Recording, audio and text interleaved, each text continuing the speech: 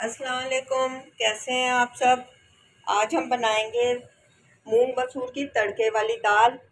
बहुत ही ईजी और आसान तरीके से तो चले, आए, शुरू करते हैं। मूंग और मसूर की दाल तड़के वाली बनाना बहुत ईजी है। इसके लिए मैंने लिया एक कप लाल मसूर की दाल और आधा कप मूंग की। इन्हें अच्छी तरह से मैंने साफ़ कर लिया साफ़ करने के बाद अब धो के मैं पंद्रह से बीस मिनट इसे भिगो के रख देंगे।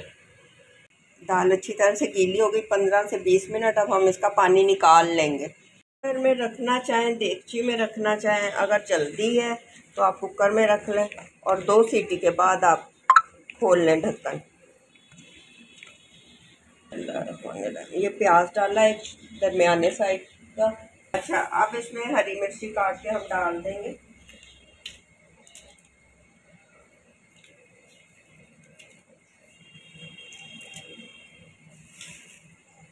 लाल मिर्च पाउडर, आधी चम्मच आधी चम्मच कुटी हुई लाल मिर्च, एक चम्मच नमक।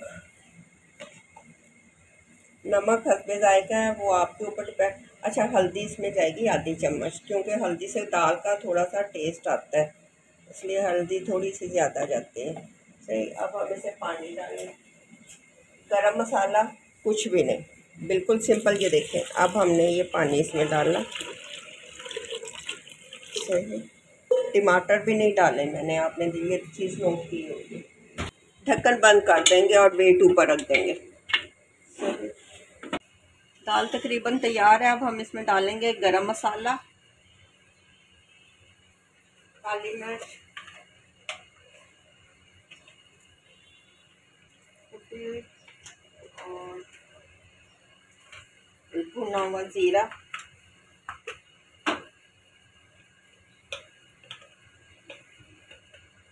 ये भुना हुआ ज़ीरा मैंने पीस के रखा है, ये इसमें डाल देंगे और साथ ही हम तड़के की तैयारी करते हैं।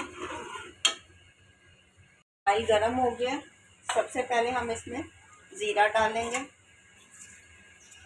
ज़ीरे की खुशबू आने लगे।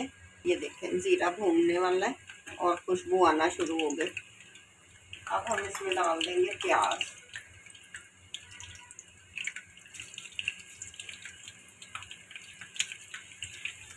प्याज हल्के से ब्राउन हो, ज़्यादा ब्राउन नहीं करने हमने।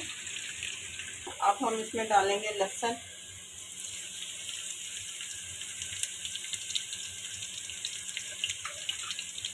लहसुन को भी ज़्यादा नहीं करना, फिर कड़वा हो जाए, ज़्यादा ब्राउन हो जाता है तो उसमें अजीब सी स्मेल हो जाती है। अच्छा अब हम इसमें टमाटर और हरी मिर्ची। ये ऐड कर देंगे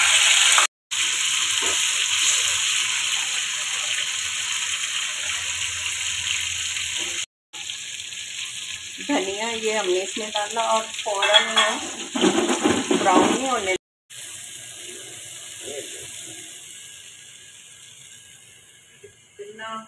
खुशबूदार ये तड़का लगा है।